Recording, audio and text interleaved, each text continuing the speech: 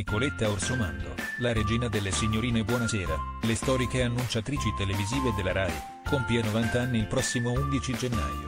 Per festeggiarla, le colleghe di sempre si sono riunite tutte per un fantastico pranzo di compleanno, testimoniato da una fotografia pubblicata da Rosanna Vaudetti.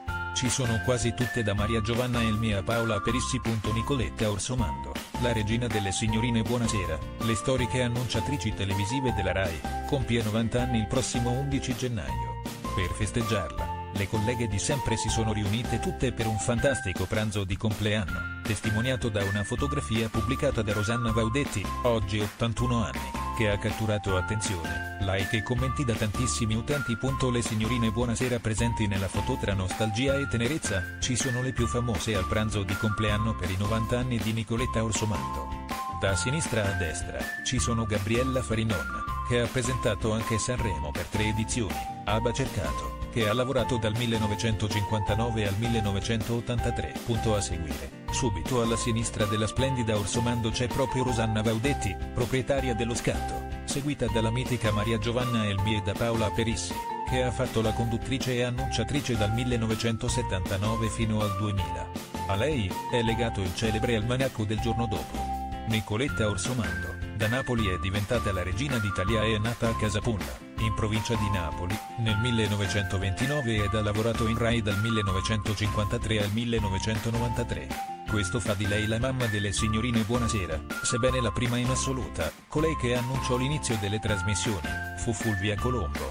Non solo il ruolo di signorina Buonasera la Orsomando ha condotto Cine Selezione, una delle prime rubriche che ha parlato di cinema all'interno delle trasmissioni del servizio pubblico ed ha presentato un'edizione del Festival di Sanremo, quella del 1957. Il mito di Maria Giovanna Elmi classe 1940. Maria Giovanna Elmi è sicuramente tra le più note annunciatrici televisive. Nota anche come La Fatina, è stata in Rai dal 1968 al 1988.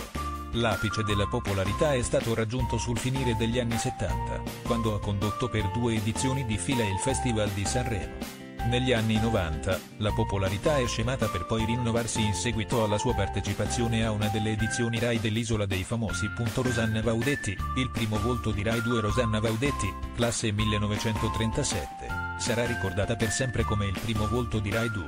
È stata lei, infatti, la prima persona ad andare in onda sul secondo canale del servizio pubblico, oltre ad essere la prima persona in assoluto ad essere andata su trasmissioni a colori. Ha lavorato in Rai dal 1961 al 1998.